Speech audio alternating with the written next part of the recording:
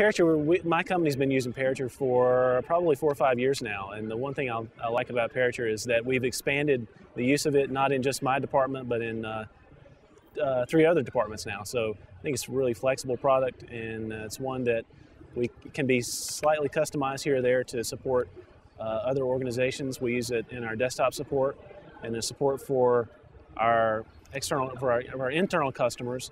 We use it on our ad serving side for ad serving customers, and we also use it to support the general public. McClatchy, McClatchy is a newspaper company, and we have a classified product. And um, you know, when people are placing classified ads online, they may have problems here or there. So we use it to support the general public who, who are placing classified ads on our site. So we think the the wide variety of uses of Parature is really one of the benefits that we have.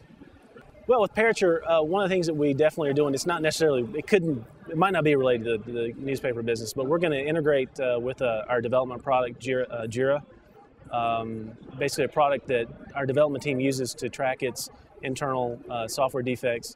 And it's going to really be necessary for us because we take a lot of requests from our cust- from our internal newspapers, and we need to turn those into what amounts to either bugs or also uh, feature requests so that's something we're, we're definitely doing this year and something that we really need to be doing um, with Parature.